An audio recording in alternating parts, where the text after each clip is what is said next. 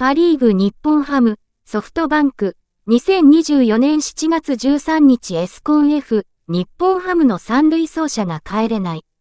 初回は西三塁でマルティネスが三振。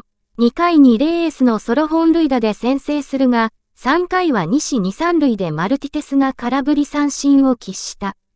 逆転を許した直後の4回は西満塁のチャンスを作るが浅間が差否。